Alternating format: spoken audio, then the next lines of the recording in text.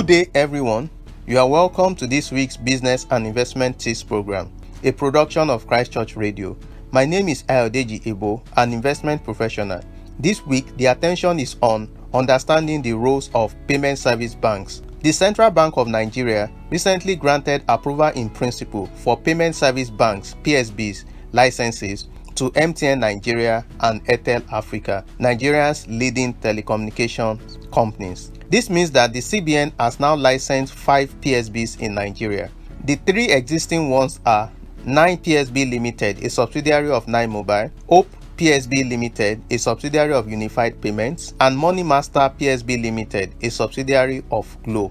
What are PSBs? PSBs are a new category of banks with smaller scale operations but without the permission to grant loans and advances and deal in foreign exchange operations. Think of the PSBs as basically stripped down versions of the traditional banks with limited functionality and a mandate to onboard more of the financially excluded population. Objectives of the PSBs The CBN's main objective of setting up PSBs is to enhance financial inclusion by increasing access to deposit products and payments and remittances services to small businesses, low income households, and other financially excluded entities through high volume, low value transactions in a safeguarded technology driven environment. This is to complement the efforts of other services provided by the CBN licensed entities. Additionally,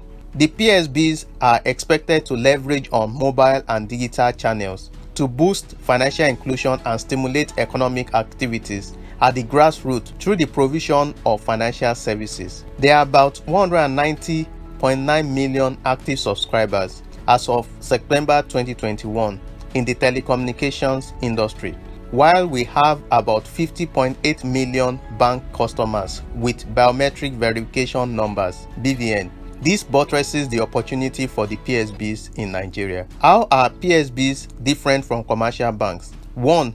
PSBs are not allowed to give out loans and advances like commercial banks. 2. PSBs are not allowed to engage in fixed income trading but can invest excess funds in federal government and CBN issued securities. 3. PSBs are only allowed to accept deposits from individuals and small businesses, excluding the public sector. The deposit will be covered by the Deposit Insurance Scheme. 4. PSBs are not allowed to accept foreign currency deposits except personal remittances, which must be sold to authorized foreign exchange dealers. How PSBs will operate 1.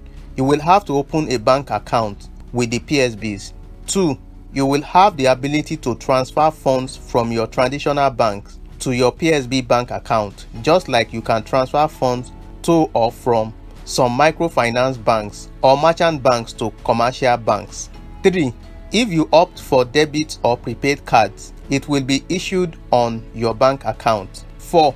PSBs will pay interest on customer deposits, though the rate of interest is yet to be decided. 5 you will be able to withdraw your funds and pay for services as PSBs will be allowed to deploy POS and ATM in some areas. Why will Nigerians open bank accounts with PSBs? As you are aware, the telcos have a strong infrastructure and huge subscriber base. Hence, the cost of transactions would be minimal for the PSBs relative to commercial banks. High transaction cost is a major factor preventing many potential bank customers from using a bank account. The telcos will be able to leverage their agents in rural areas to facilitate transactions, thereby attracting more of the unbanked. The operations of PSBs may likely reduce current and savings account balances of the commercial banks in the medium to long term as funds move from commercial banks to PSBs. Also, the PSBs can invest excess funds directly in government and CBN issued securities, but are at liberty to place funds with any commercial banks. Notwithstanding, we expect to see significant collaborations between PSBs and commercial banks due to their inability to grant loans and advances. The PSB business will add significant interest income to the revenue of the telcos. Investors were already pricing this new source of revenue in the share prices of MTN and Airtel Africa in the past few weeks. Thank you for listening. Please join us same time next week for another exciting and insightful session. For comments and feedback, kindly forward to ccradio at rccgchristchurch.org or send SMS to 070 Stay blessed.